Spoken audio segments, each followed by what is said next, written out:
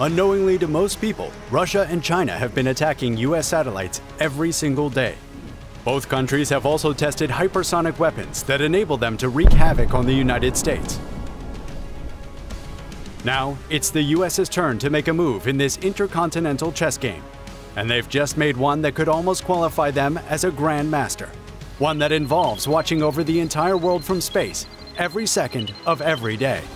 Because as recent news shows, these threats are as real as ever. Russian defense officials have revealed that the country fired its Kinzhal air-to-ground hypersonic missile into Ukraine in an attack on March 18, 2022. This marks the first time this missile, which travels at five times the speed of sound, has been used in combat. And Ukraine, with no defenses against hypersonic weapons, was defenseless against the Kinzhal, causing many to consider this an overkill. China's entry into this threatening stance comes in the form of a larger hypersonic missile than the Kinzhal, and is five times faster too. It's known as the Fractional Orbital Bombardment System. China's FOBS is a nuclear-capable missile that jets into low Earth orbit and then deorbits at the right time to kamikaze into a target anywhere on Earth, like an intercontinental ballistic missile, or ICBM, but with the added plus of higher range and insanely greater speeds. China tested this weapon in 2021, catching US intelligence by surprise, to put it mildly.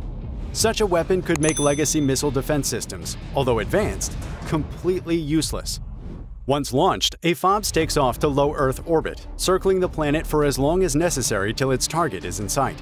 Once the target is spotted, the hypersonic missile deorbits, clocking its Mach 27 top speed. The FOBS can be pictured as a space shuttle that's fitted with a nuclear warhead as its payload, rather than a capsule full of astronauts.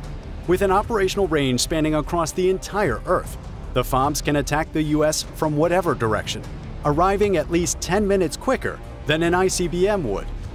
The FOBS also comes with a scary level of agility and intelligence. They're able to maneuver away from defense systems en route to a target, making them even more difficult to track and shoot down. This high speed, agility, and intelligence combo combines to deliver a level of unpredictability that attempts to limit the US to only a few minutes of reaction time from when they spot the missile to when it makes a dent on US soil. And this would be the case if the US was stuck with its older defense systems. But it's not. The US has been proactive and reactive to the growing foreign capabilities, responding with a new and advanced development system that's sci-fi enough to feature in a Marvel movie. Billions of dollars, hundreds of satellites, and a team of world-renowned companies.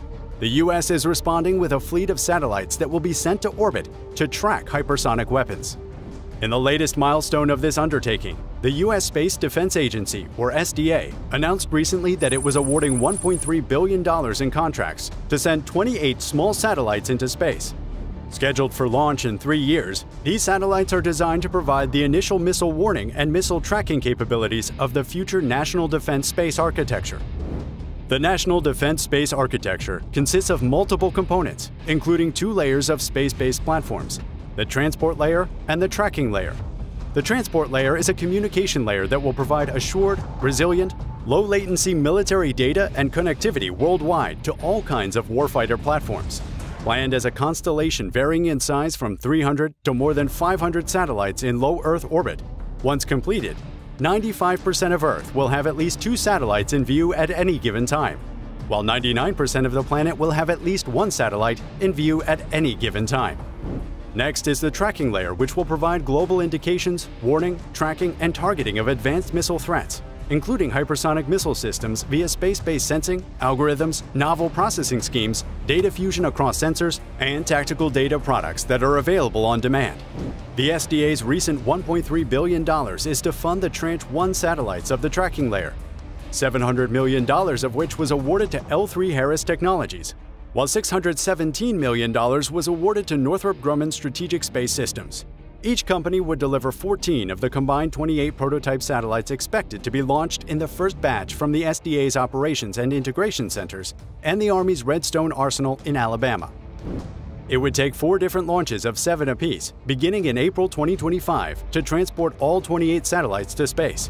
The reason for this being that each satellite will be placed in a polar orbit, That is, the satellites will be in four different dimensional planes to effectively traverse the globe from north to south, enabling a true omnipresent eye in the sky that, according to SDA Director Derek Tournear, successfully provides early missile warning and missile tracking capabilities for advanced missile threats.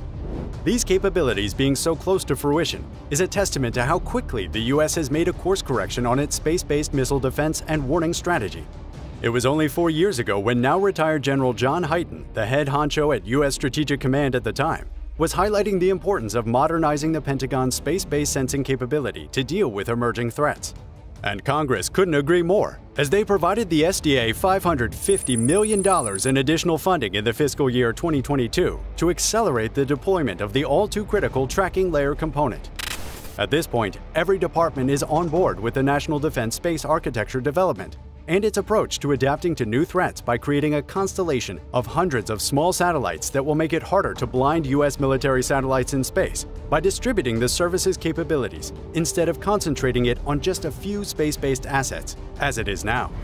This is a particularly essential move, not only to counter China's FOBS missiles, but to neutralize the impact of Russia successfully compromising U.S. satellites.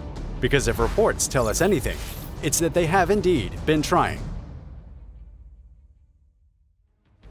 As space continues to be a vital domain for military activities, anti-satellite technologies are on the rise. Recent Google Earth images revealed the construction of what appears to be a sophisticated laser system at a Russian space facility, a system that could blind satellites in space. The construction is taking place at the Russian Ministry of Defense's Krona Space Facility, home of the massive, highly successful Ratan 600 radio telescope, which says some on the quality to expect of the anti-satellite weapon being developed.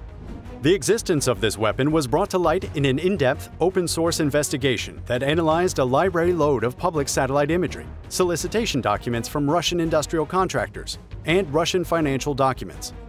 These analyses revealed the development of a project named Kalina, which was described in the financial documentation obtained by the Space Review as a laser system designed for electro-optical warfare that can permanently blind adversarial satellites by shining laser pulses so bright they can damage optical sensors. This is in contrast to dazzlers, which are lasers aimed at only temporarily blinding optic systems. The Russian Kalina would have a separate tracking system with adaptive optics to help it better mitigate atmospheric disturbance. Along with this system, the laser itself features a transmit-receive system to measure laser light reflected back at it from its target, in order to better aim directly at the optical systems on its targets, which are the bullseye spots that once destroyed would leave a target satellite blind. On the topic of potentially being a pain to American satellites, China is also in the conversation. A 2022 paper published in the Chinese journal Modern Defense Technology by researchers at the Beijing Institute of Tracking and Telecommunications Technology called for the development of a combination of soft and hard kill methods to take out SpaceX's Starlink satellites and to destroy the constellation's overall operating system. According to the paper, Starlink is a valuable military resource that can provide more stable and reliable communication capabilities for the combat units deployed by the U.S. military around the world. It could also provide high-definition pictures and even live video for U.S. forces. With that in mind, it's possible that Russia, with the Kalina, has solved the soft kill method of taking out satellites, enabling them to take out satellites without creating risks of space debris for their own satellites.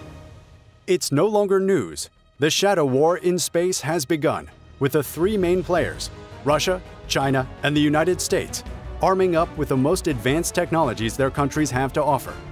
Everything from electro-optic warfare to missiles that shoot into orbit is now involved, ushering in the need for a new class of American defense systems, one that revolves around a blanket of satellites watching over the world at all times to make sure that adversary weapons can be handled satisfactorily and to ensure that you subscribe to this channel so kindly do so now. That would be all for now. Thanks for watching.